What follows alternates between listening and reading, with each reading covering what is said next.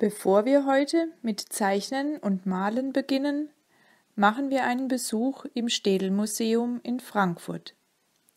Dort findet ihr in der digitalen Sammlung das Bild Liegender Hund von Franz Marc. Ihr könnt euch das Bild in Ruhe ansehen. Wenn ihr mögt, findet ihr auf dieser Seite noch weitere Informationen darüber, die ihr euch durchlesen könnt. Dann schaut ihr, ob ihr zu Hause Gummitiere findet, die ihr abzeichnen könnt. Oder ihr findet Abbildungen in Büchern oder in Zeitschriften, die euch gefallen und die sich als Vorlage zum Zeichnen eignen.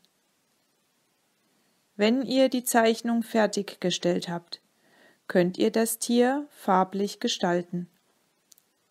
Nehmt Buntstifte oder Ölkreiden und malt euer Pferd blau, die Kuh gelb, wie Franz Marc? Oder aber ihr entscheidet euch für einen bunt gestreiften Tiger oder gebt dem Esel bunte Punkte. Der Fantasie sind keine Grenzen gesetzt.